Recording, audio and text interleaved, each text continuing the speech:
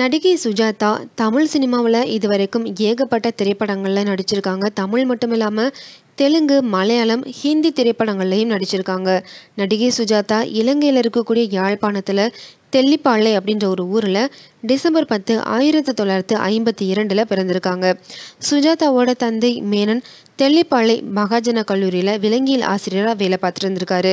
பத்தாம் வகுப்பு படிக்கிற வரைக்கும் இலங்கையில் படிச்சுட்டு இருந்த சுஜாதா பதினோராம் வகுப்பு படிக்கும்போது கேரளாவில் குடும்பத்தோடு வந்து செட்டில் ஆகியிருக்காங்க அதுக்கு பிறகு ஆயிரத்தி தொள்ளாயிரத்தி எழுபத்தி ஏழில் ஜெயகர் அப்படின்ற ஒரு நபரை சுஜாதா காதலிச்சு திருமணம் பண்ணிக்கிட்டாங்க.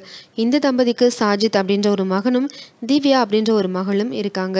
நடிகை சுஜாதா போலீஸ் ஸ்டேஷன் அப்படின்ற ஒரு மலையாள நாடகத்தில் தான் பார்த்தீங்கன்னா முதன் முதல்ல நடித்தாங்க அந்த நாடகத்தில் நடித்ததை தொடர்ந்து சுஜாதாவுக்கு நிறைய பட வாய்ப்புகள் கிடைக்க ஆரம்பிச்சது. இயக்குனர் கே. பாலச்சந்தர் தான் ஆயிரத்தி தொள்ளாயிரத்தி எழுபத்தி ஏழில் அவள் ஒரு தொடர்கதை அப்படின்ற ஒரு படத்தில் ஹீரோயினாக அறிமுகப்படுத்தினார் தமிழ் சினிமாவுக்கு. அவள் ஒரு தொடர்கதை படம் ஒரு மாபெரும் வெற்றி படமாக அமைஞ்சதை தொடர்ந்து தமிழ் தெலுங்கு மலையாளம் கன்னடம் ஹிந்தி உள்ளிட்ட நிறைய மொழிகளில் வந்து பார்த்திங்கன்னா நிறைய படங்களில் நடிச்சிருக்காங்க. இதுவரைக்கும் முந்நூறுக்கும் மேற்பட்ட படங்களில் நடிச்சிருக்காங்க சுஜாதா.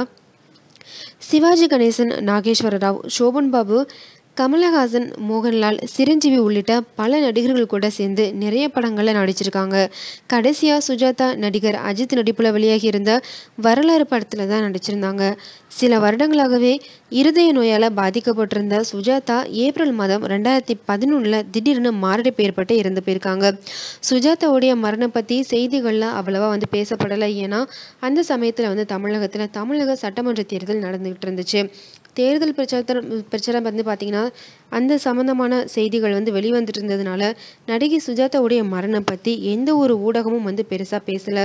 பல வருடங்கள் கழித்து இப்போ தான் சுஜாதாவோட இறப்பு செய்தியை பற்றி ஊடகங்களில் பேசப்பட்டு வருது.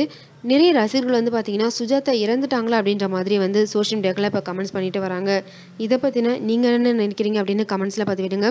இந்த வீடியோவை லைக் பண்ணுங்கள் ஷேர் பண்ணுங்கள் உடனுக்குடன் தகவல்கள் தெரிஞ்சுக்கிறதுக்கு நம்ம சேனல் மறக்காமல் சப்ஸ்கிரைப் பண்ணுங்கள்